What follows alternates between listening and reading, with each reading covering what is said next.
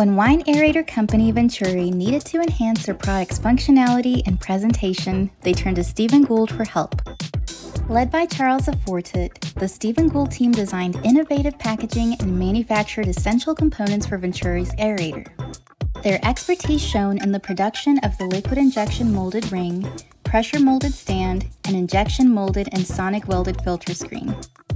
With Stephen Gould's contributions, Vinturi's product not only stood out on shelves, but also delivered exceptional performance, satisfying even the most discerning wine enthusiasts.